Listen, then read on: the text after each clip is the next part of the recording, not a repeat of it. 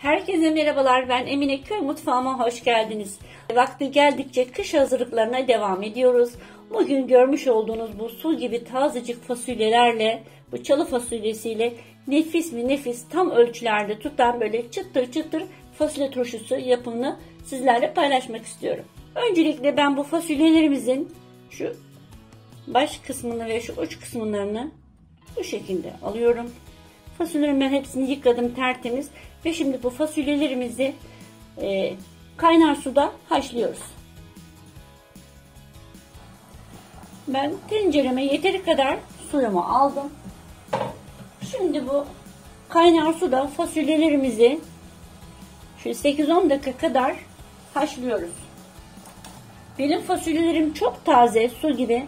Sizlerin eğer kullanacağınız fasulyeleriniz biraz kartsa bu kadar taze değilse biraz daha fazla haşlayabilirsiniz.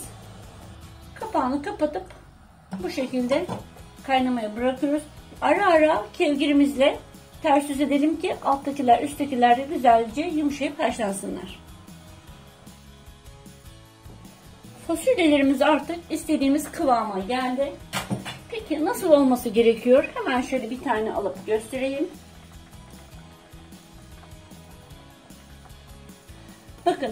Şekilde fasulyelerimizi ikiye katladığımız zaman kırılmadan bu şekilde olması gerekiyor. Öf, tabii çok sıcak bu arada.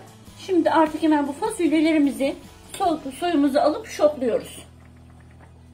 Evet bu şekilde fasulyelerimiz hem soğuyup hem de şoklanırken ben yine bu kalan fasulyelerimizi aynı işlemi tekrar ediyorum.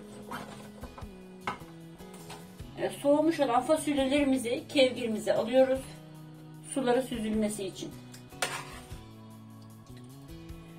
Kevgirde hem suyu süzülüp hem de soğumuş olan fasulyelerimizi kavanozlarımıza alıyoruz. Şöyle altını bir miktar sarımsak alalım. Ben irici olanları küçülttüm sarımsaklarımızı. Bu şekilde alalım elimize. Bu şekilde olabildiğince fasulye dolduralım. Ben 1 litrelik konserve kavanozu kullanıyorum. Benim fasulyelerim hem maşallah çok taze hem de çok boylu uzun. Kavanozdan bile dışarıya taşıyor.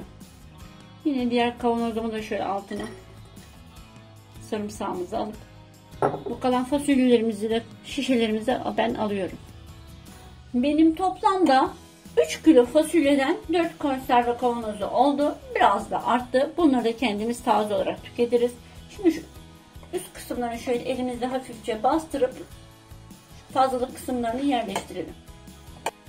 Ve şimdi bu kalan sarımsaklarımızı da üzerlerine şöyle biraz bırakalım.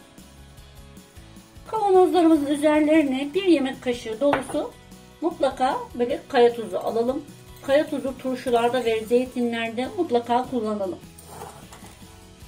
Kaya tuzu geç eridiği için yumuşamasını engelliyor hem daha sağlıklı.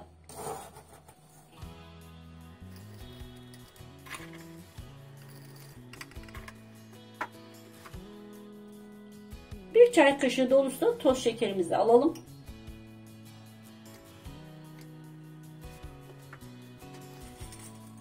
Yarım çay kaşığı dolusu da limon tuzu kullanıyoruz.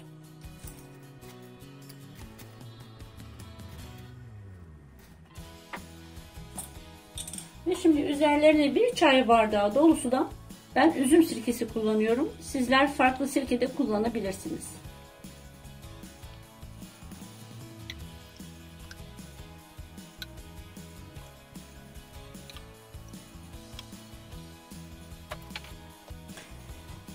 Şimdi en son olarak da kavanozlarımızın üzerine çıkasıya kadar fokur fokur kaynamış olan bu sıcak suyumuzla ağzına kadar dolduruyoruz.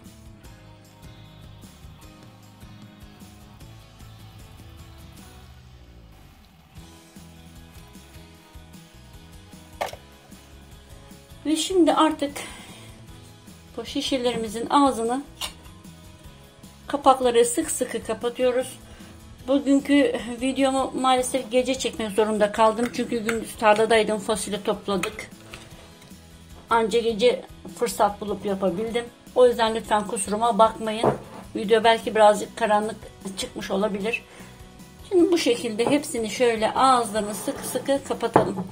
Bu şekilde yapıldığı zaman eğer hemen tüketmek istiyorsanız bir 10 gün kadar bekletip o şekilde tüketebilirsiniz. Aylarca da saklayıp istediğiniz zaman çıkartıp ağız tadıyla tüketebilirsiniz. Bana hep genelde soruyorsunuz bu tür tariflerde buzdolapta mı saklamamız gerekiyor diye. Hayır kesinlikle buzdolapta saklamanıza asla gerek yok. Serin güneş görmeyen e, yerlerde muhafaza ederseniz hiçbir şey olmaz. Yeter ki güneş görmesin. E, mutfak dolaplarınızın bu alt rafları gibi ya da kiler dolabınız varsa kiler dolabı gibi o yerlerde muhafaza edebilirsiniz.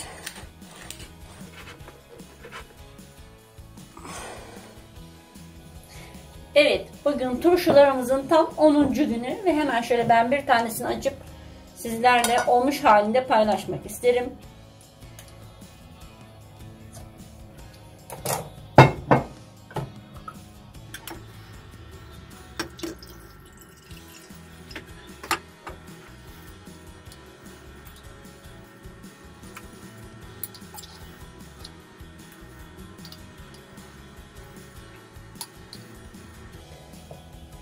Turşularımızda gördüğünüz gibi en ufak bir yumuşama kesinlikle asla söz konusu değildir. Nasıl koyduysak gördüğünüz gibi o şekilde.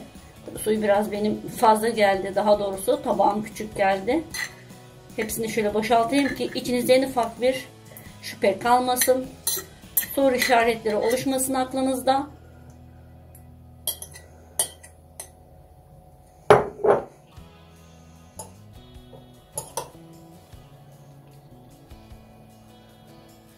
Evet görüyorsunuz turşumuz çok güzel oldu. Bugün sizlerle çıtır çıtır misler gibi tadına doyum olmayan bu fasulye turşu yapımını paylaştım. Umarım bugünkü tarifimi de beğenir ve denersiniz. Eğer tariflerimi beğeniyorsanız paylaşarak kanalımın büyümesine destek olursanız çok memnun olurum. Farklı lezzet ve tariflerimde görüşmek üzere. Hoşçakalın.